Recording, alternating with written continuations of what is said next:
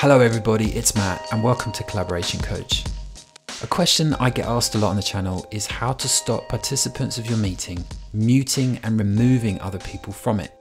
And another problem is when people do get removed, there's no way to tell who did it. When a person joins a Teams meeting, they are either a presenter, an attendee, or a guest. Presenters can mute and remove people from the meeting, attendees can't. To avoid that problem, this video is going to show you how to ensure that everybody who joins your meeting is an attendee. The first thing you need to do is schedule your meeting. So go to the calendar app in Teams and choose new meeting, then fill in the meeting details and invite all the people that you want to attend, and then press send.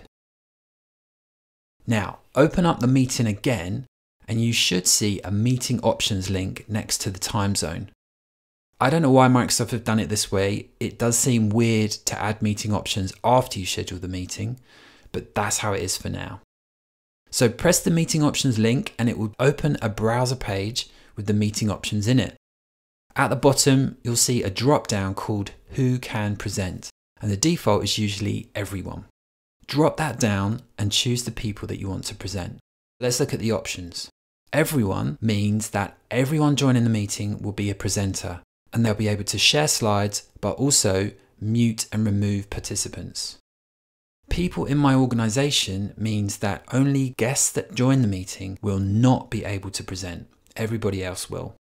Specific people allows you to choose one or more presenters and you can pick them from your organization's directory. And finally, only me means that just you can present and everybody else is an attendee. For teachers, I would guess that this would be the one that you'd choose. So when you've made your choice, press save.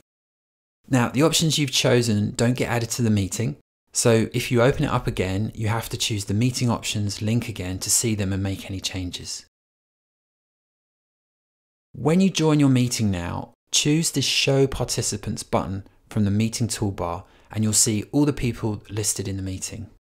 You should see yourself in the presenters group and any other presenters you chose will be there too. And then everyone else should be in the attendees group. So that's how you stop people from muting and removing your meeting participants. Thank you so much for watching and I'll see you next time.